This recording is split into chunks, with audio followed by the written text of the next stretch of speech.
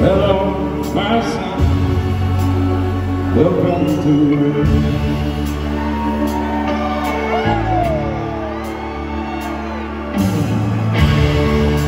May not be my life, but you'll always be my girl.